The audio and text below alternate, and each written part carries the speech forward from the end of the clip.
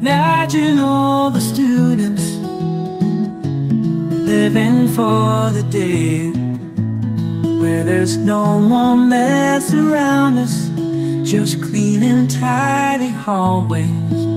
Imagine all the people